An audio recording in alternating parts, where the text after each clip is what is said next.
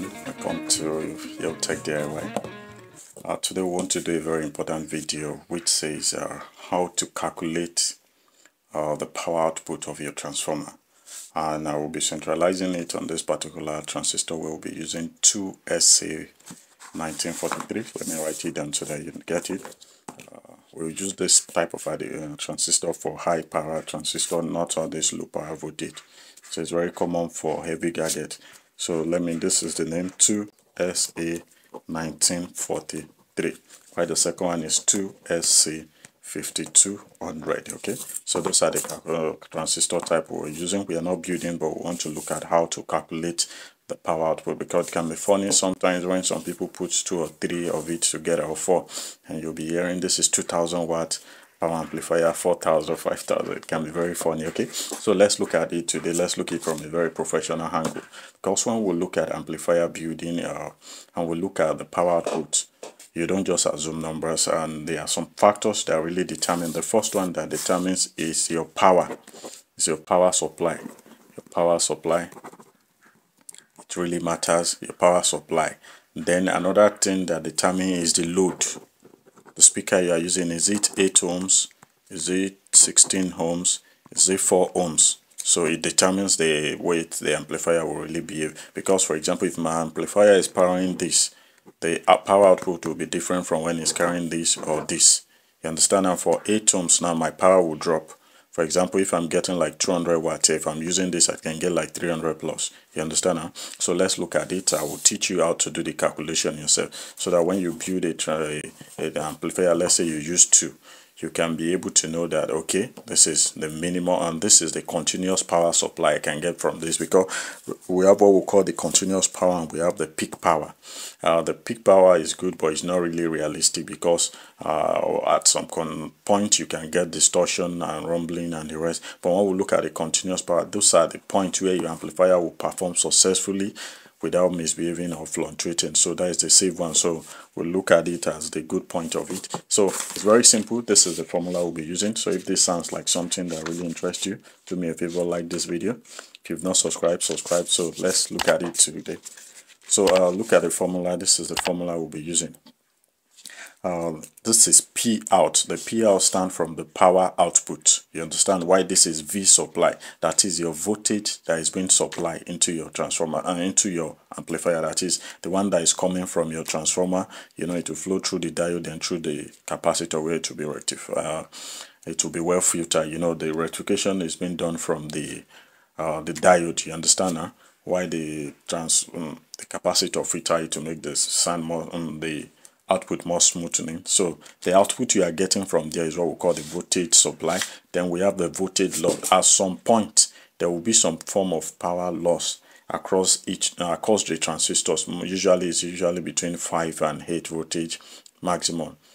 You understand now? So at times 10, let's just say 10, but uh, the standard is between 5 and 8 volt loss. You understand? So that is voltage loss, and this is 2 R load. The 2R load means the ohms of your speaker. You know, some of our speakers have been rated at 8 ohms, why some 4, why some 16, but 16s are not common again.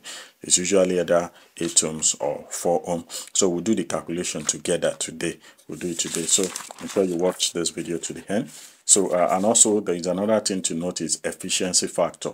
Uh, based on the kind of pre-board you use, uh, we'll call them class AB. If you're using class AB, the efficiency is usually between 60 to 70%, but to just be on average, we just pick the middle point, which is 65%. If you are using A, B, D, and the rest, it will vary, but let's use AB. Let's assume we're using a very good pre-board to drive it. Okay, so let's start with the transform, mm, the calculation there. So under an ID condition, if you are using 2SC5200 or 2SC, uh, 2SC1943, that one, each of these transistors they have the same property.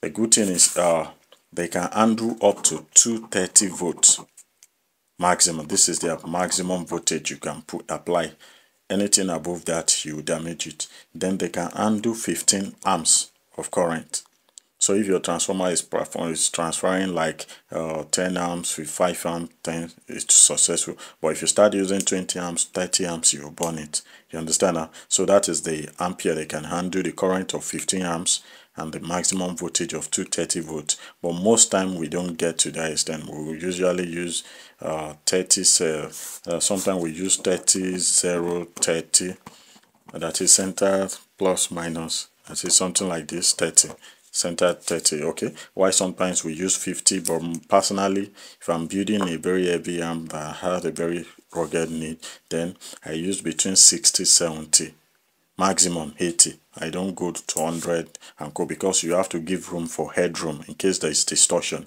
you understand? So it will be able to handle it. Because if you are using 100 100 0 100 and by the time you combine it that is what that is 200 and remember sometimes when the voltage input that is coming through the primary side of your transformer is very high you know it will tend to supply more output too. So definitely at some point you will exceed this. So to give room to that at times we use just 30 0 30 if it is a basic amplifier some 40 some 50 but if you are using 50 60 and the rest is still safe. So let's assume i'm using 60 0 60 now. That will give me 60 plus 60 that is 120 so i'm still safe so there is no way i will damage this yet. Everything will be very very okay. Then another thing is your heat dissipation. Your that is the heat sink you are using. It matters too. Dissipation it matters a lot. If there is and also ventilation. You know when you eat you use your heat sink because this transistor you attach it to the heat sink uh, this is a very small i'm just using it as a sample. This is not the heat sink we use we use a very big one okay? But let's just assume you know this one is to help with the cooling process and you have fan in the amplifier okay? So this factor really matters a lot. So let's dive into the calculation.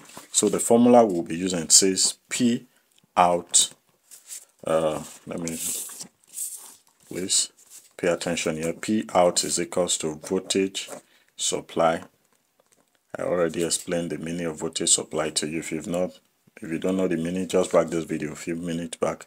Then v loss then everything square all over 2r load. Now remember this is your voltage out. That is the power output you get at the end of the day. You understand now so uh, remember voltage supply. Now if you look at the voltage that is what is coming from your transformer what is our voltage supply? So let's assume our voltage supply is 40 0 40 you understand? And that is voltage supply will now be uh, you know the way an amplifier work especially this high definition one we used to have the plus side and the negative side and the center. You understand? So this is a side this is another side that will go to the uh, the diode. You understand? Four leg diode you know two side will be you know this one will go to the AC side while this will come to the uh, the DC side you understand? The output now one will now be positive before it gets to the capacitor. If you don't understand what i'm saying check my playlist. I've done enough video on that okay? So this is our v supply now. So our v supply remember we have 40 here. We have 40 that is 40 times 2 that is 80 volts. Is that clear now? Now let's look at the voltage loss. Uh, the voltage loss I say is usually between voltage loss is usually between 5 and 8. But let's calculate for the worst. Let's use 8 volts. Is that clear now? Let's use 8 volts. So if you are using 8 volt, then this is the R load. That is uh, the ohms of your of your speakers. You understand? Now? So let's assume we are using ohm 8 ohms now you can do the calculation for that of 4 ohms no problem that's not a problem so the voltage we are using now is 40 so that is 40 times 2 because of two side it has so it's giving us 80 80 volts let me zoom out a bit so you see further.